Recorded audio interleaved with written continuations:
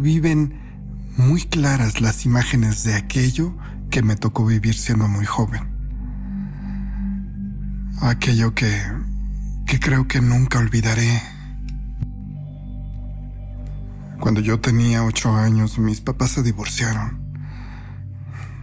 Algún tiempo después, yo supe que la razón por la que se habían casado originalmente era yo. Se casaron cuando mi mamá había quedado embarazada.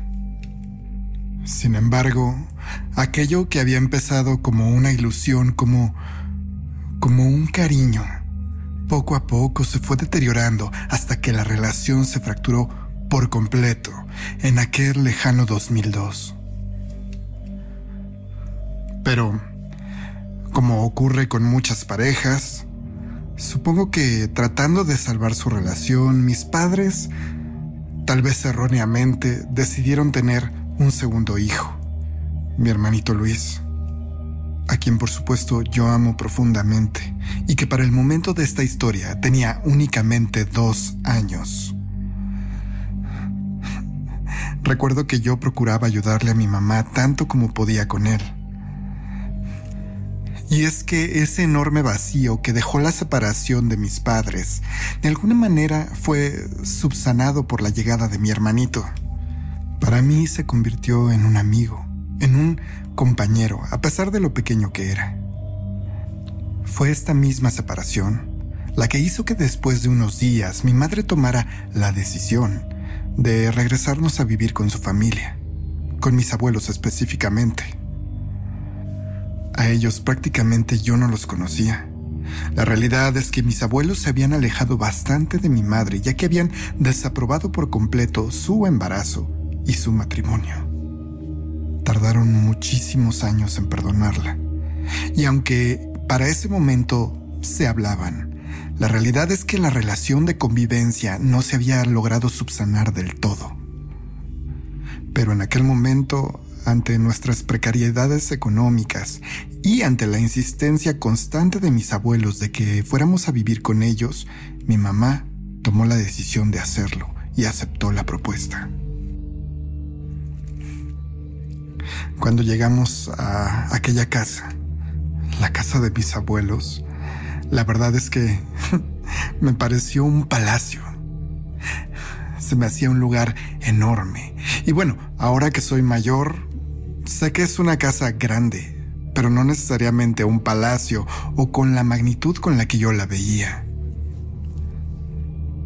Mis abuelos vivían en una casa bastante vieja. Estaba... Estaba realmente destruida prácticamente, como si estuviera abandonada. Pero era muy amplia, con muchas habitaciones y muchísimo espacio para nosotros como niños. Recuerdo incluso que había tres de esas habitaciones completamente repletas de maderas y cachivaches viejos. Ellos en realidad Siempre decían que debían limpiar esos lugares, pero hasta el día de hoy no han logrado hacerlo del todo. Una de estas habitaciones tenía solamente muy pocas tablas, probablemente de algunos trabajos de construcción que habían quedado arrumbadas ahí. En muchas ocasiones mi hermano y yo usamos aquella habitación como cuarto de juegos debido al gran espacio libre que tenía. Y bueno, la casa de los abuelos era un lugar nuevo, nuevo para nosotros al menos, ya que mi mamá había crecido ahí. Pero a pesar de eso, estaba resultando un lugar fantástico, un lugar donde podíamos jugar mucho. Tengo muy buenos recuerdos de esa casa. Sin embargo, también había cosas extrañas. Cosas que a veces nos ocurrían a mi hermano y a mí cuando estábamos solos. Y es que, a pesar de que él era mucho más chico, mi mamá y mi abuela en ocasiones llegaban a dejarnos solos. No por mucho tiempo.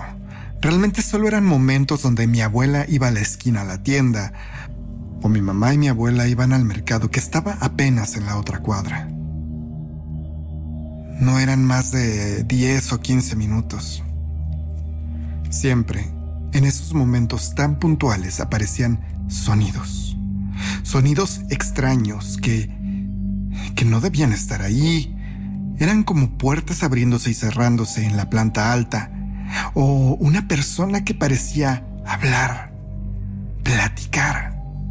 No lográbamos entender por completo lo que decía, pero era muy clara esa voz de mujer parloteando en una de las habitaciones de la parte superior. Quiero aclarar que esto no solo ocurría cuando nos quedábamos completamente solos mi hermano y yo.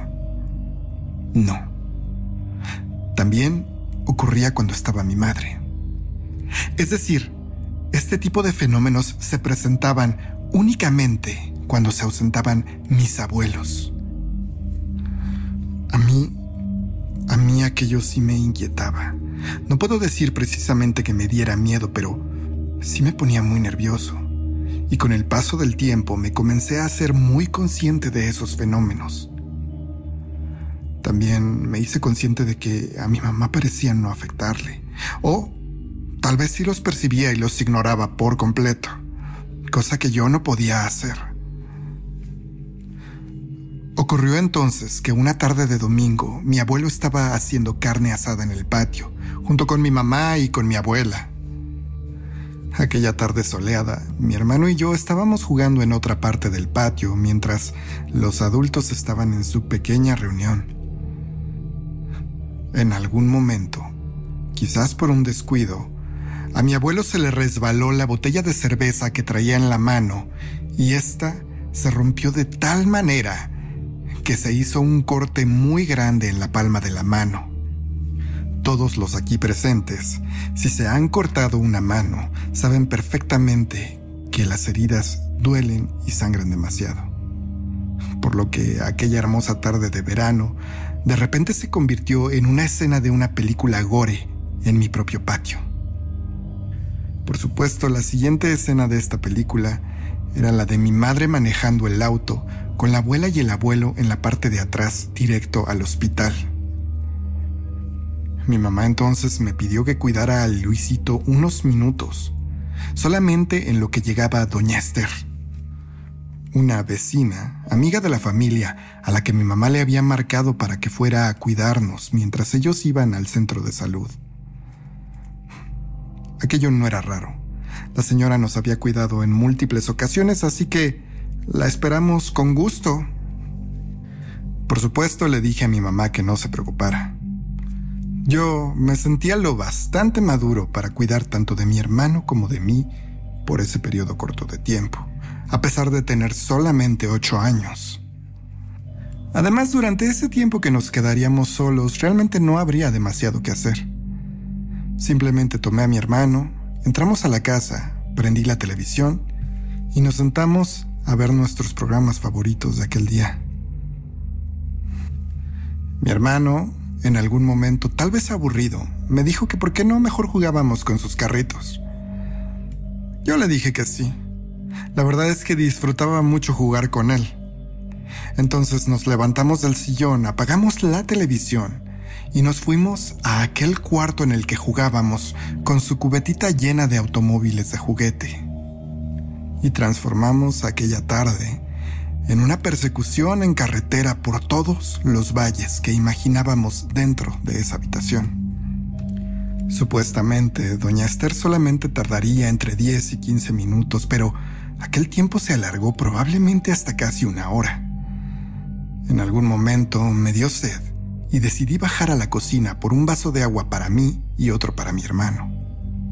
Pero al estar sirviendo el agua, de repente escuché un golpe, un golpe seco y muy fuerte, y posteriormente el grito y el llanto de mi hermano. No lo podía creer. Me habían encomendado cuidarlo y seguramente se había resbalado y se había lastimado en los pocos minutos que yo había bajado a la cocina. Dejé lo que estaba haciendo y subí corriendo a la habitación, esperando encontrarlo en el suelo. Pero, al abrir la puerta, lo que vi no era para nada lo que esperaba. La luz de la habitación estaba apagada. Mi hermano sí estaba en el suelo, pero no parecía haberse caído. Estaba sentado. y estaba intentando resistir los jalones de una mujer. Una mujer enorme. Es decir, físicamente muy alta, pero también con una complexión muy gruesa, muy corpulenta. Parecía estarle dando tirones en el brazo, que eran tan fuertes que cada vez que lo jalaba lo levantaba un poco del piso, mientras mi hermano lloraba desesperado. Lo que sentí a continuación fue una combinación muy extraña de sentimientos. Estaba No era posible que esa mujer estuviera ahí en nuestra casa. Pero también estaba furioso, lleno de rabia. ¿Cómo se atrevía a lastimar a mi hermanito?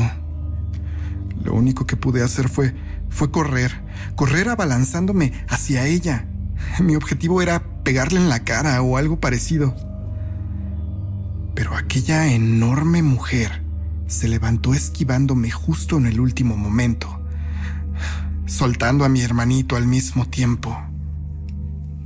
En ese momento, tal vez con la agilidad que te proporciona la adrenalina, recuerdo que, de alguna manera, aventé a mi hermano casi debajo de unas tablas y yo me coloqué encima de él cubriéndolo y empecé a recitar una y otra vez todos y cada uno de los pocos rezos que había aprendido en el catecismo hasta ese día. No sé cuántos minutos pasamos así, pero yo no paré de rezar hasta que escuché a doña Esther llamándonos, desesperada por entrar a la habitación. Hijo, hijo, ay, no, no, no, no, no, no, tu mamá sí nos va a matar a todos. Mira cómo tienes a tu hermano, ay, no, no, no, no repetía doña Esther una y otra vez. Y es que, al tratar de cubrir a mi hermano, aventándolo al suelo, Luisito se había raspado las rodillas, las manos y un poco la nariz. La verdad es que en aquel momento tuve mucho miedo de decirle lo que había pasado.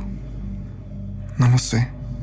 De alguna forma creí que no, no iba a creer mi historia así que simplemente le dije que, que estábamos jugando a pelearnos como cualquier niño. Le dije a mi hermano que no dijera nada. Y cuando mis papás y mis abuelos regresaron, mi abuelo habiendo recibido varias puntadas, la realidad es que ante la historia que les contó doña Esther, me castigaron severamente por maltratar a mi hermano. Y, y así fue, no dije nada. Nunca en realidad les conté lo que había pasado. Pasó entonces tal vez un mes después del incidente. Recuerdo bien que regresé de la escuela. Mi abuela había ido por mí y cuando llegamos mi mamá estaba en casa.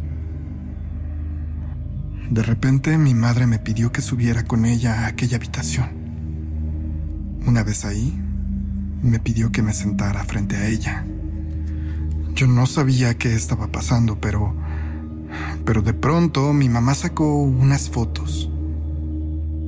Me pidió que las viera. De repente se detuvo en una de ellas y me preguntó si aquella era la mujer que yo había visto. Yo no le había dicho nada, pero en aquel momento olvidé por completo ese detalle.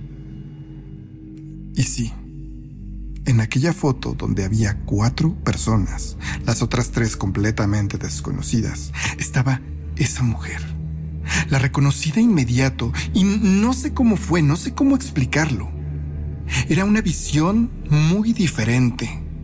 Una mujer sumamente femenina, pero con la misma cara de aquella bestia que vi esa noche. Mi mamá me abrazó y me dijo que Luisito, mi hermano, le había contado todo. Aquel día mi madre se había quedado en casa cuidando a mi hermanito que no había ido a la escuela por una fiebre extraña que había tenido. Debido al medicamento o a la enfermedad misma, en algún momento de la mañana Luisito se quedó muy dormido. Mi mamá aprovechó ese momento para ponerse a hacer quehacer en el piso superior Llevó cubetas y escoba para barrer y trapear, y mientras hacía esas labores en el pasillo, de repente, de reojo, vio algo. Ella jura que era una figura femenina parada frente a la cama de mi hermano, viéndolo. Ella, aunque solo lo vio un momento y por el rabillo del ojo, asegura que era una mujer enorme, vestida de negro, muy corpulenta. Cuando mi mamá reaccionó y trató de voltear completamente, aquella figura había desaparecido, pero ella recuerda perfectamente que, que era una mujer. Trató de no darle demasiada importancia y siguió haciendo sus labores. Conforme avanzó, terminó la parte de arriba y bajó a barrer y trapear el piso de abajo. Y fue en ese momento que mi hermano se despertó y bajó con ella. Para entretenerse un rato, los dos comenzaron a ver álbumes de fotos viejos que tenían mis abuelos. Estaban llenos de fotos muy viejas, algunas de la infancia de mi mamá y de mis tíos. Otras eran aún más antiguas, de la juventud de mis abuelos y otras incluso de la juventud de mis bisabuelos y mis tíos bisabuelos, tomadas en el pueblo de Veracruz del que eran originarios. Mamá, ya no quiero que venga esa señora, interrumpió mi hermanito a mi mamá en algún momento. Mi mamá en ese momento rápidamente observó las fotos que tenía frente a ella y no encontró una cara conocida, mucho menos la cara de alguien que nos hubiera visitado recientemente. Le preguntó a mi hermano de quién estaba hablando y pronto Luisito le señaló una cara. Al verla, mi mamá la reconoció de inmediato. Era... era la abuela de mi madre. Una mujer con la que mi madre incluso había convivido muy poco. Y es que Gran parte de la familia la había relegado durante mucho tiempo y hasta su muerte, debido a que decían que le gustaba mucho la brujería. Pero mi mamá estaba más desconcertada por aquella afirmación que hacía mi hermano de que esa mujer iba a la casa. Le preguntó entonces a qué se refería, por qué decía que, que ya no quería que fuera.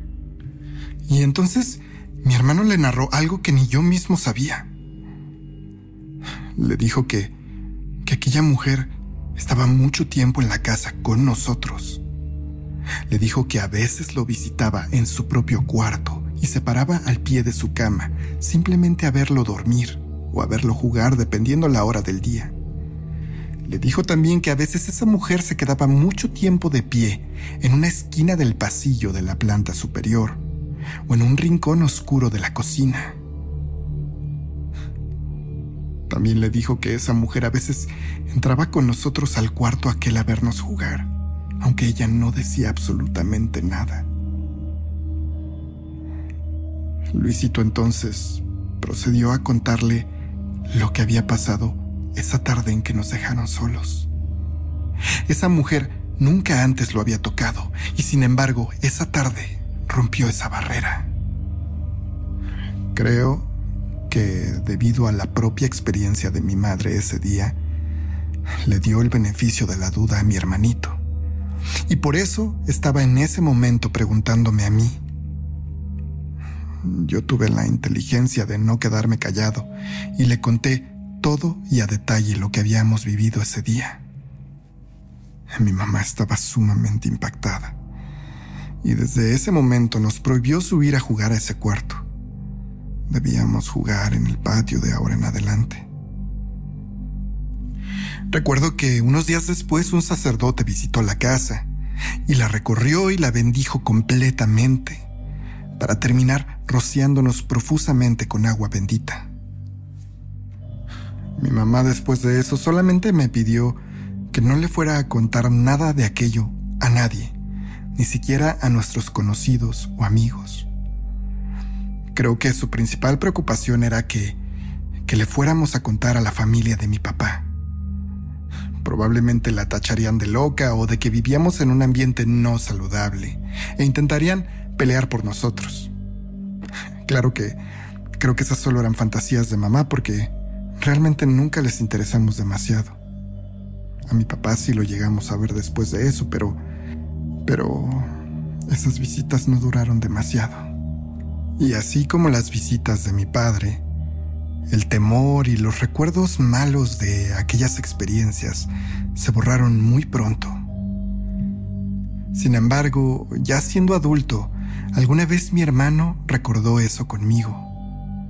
Ni siquiera sé cómo tenía memoria de aquello, ya que, como les digo, él tenía solamente dos años, pero parecía recordar vagamente algunas cosas. Recuerdo que después de esa plática con Luis, hablé con mamá. Le pregunté qué había pensado cuando, cuando yo le conté todo aquello, cuando mi hermano también le dijo esas cosas. Mi mamá entonces me dijo que aquel día, por la noche, había hablado ella directamente con la abuela y le había contado todo, lo que le había dicho Luis, lo que le había dicho yo y lo que ella misma había visto. La abuela, más que asustada o preocupada, pareció molesta. Mucho. Se levantó de la silla diciendo, Ay, no puede ser, esa maldita vieja ni siquiera muerta se puede quedar tranquila, carajo. Una vez de pie, sacó unos viejos libros de una estantería. De ahí, tomó una foto. Una foto muy envejecida de la bisabuela. Se la dio a mi madre y la abuela fue a la cocina de la que volvió con una bolsa de sal de grano en la cual metió aquella fotografía. Después todo lo enterró en una maceta. Al parecer la bisabuela sí sabía de brujería y seguramente mi abuela había llegado a aprender algo de ella. La realidad es que mi abuela nunca se sinceró nunca nos quiso contar la historia de su madre, de aquella bisabuela que había terminado alejada de la familia, de aquella mujer que aún no sabemos por qué nos visitaba. Lo único que sabemos es que, realidad o coincidencia, después de aquella visita y bendición del sacerdote, aquellas visitas de la bisabuela desaparecieron por completo. Amigos, recuerden que antes de irse, les agradeceríamos que nos dejaran sus comentarios en la parte de abajo, sus pulgares arriba y se suscriban en caso de que aún no lo hayan hecho. Recuerden también que ya nos pueden encontrar en sus plataformas de podcast favoritas, Spotify, Apple Podcasts y Amazon Music. No se olviden también de seguirnos en Instagram para enterarse de todas las novedades del canal. Nos vemos el próximo domingo Apaguen la luz y váyanse a dormir antes de que escuchen gritos en la noche.